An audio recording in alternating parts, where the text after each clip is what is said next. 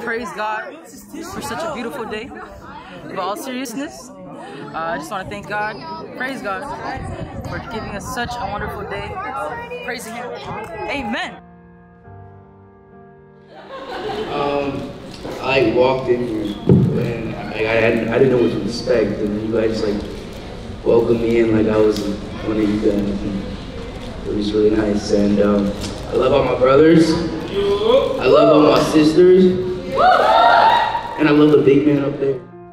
So I walked into here feeling nervous and anxious because I thought I wouldn't really know, it, know anyone. And then I'm gonna walk out here knowing many people that I really enjoyed staying with and fun, having fun with and laughing at this camp.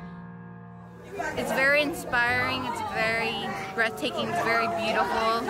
It's home, you know? That God has actually touched my heart and um, I started crying. I don't know, I, I never thought I'd do that, but I started crying tears of joy. And um, I don't know, I felt really touched when uh, Ernest and Patrick, you know, they took me to the room, they prayed over me, and it really, uh, really, what's the word?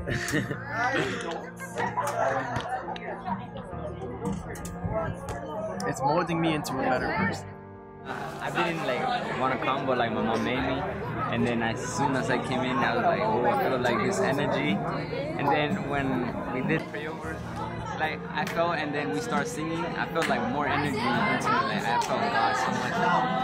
Yeah, I'm so like thankful to my mom now. When I when she gets here, I'm gonna hug her. To, I'm gonna tell her thank you for letting me come, for bringing me.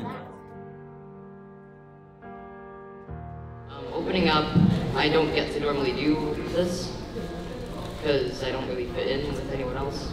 But here I get to see other people that are sort of like me in certain ways, and I guess that makes me sort of happy. Thank you. What really spoke to me was the praise and worship, and uh, it really touched me and seeing everybody how they uh, how they felt the presence of God. Uh, sharing the light. This wouldn't be possible without you guys, and I'm here to better myself, and I'm gonna keep God close to me.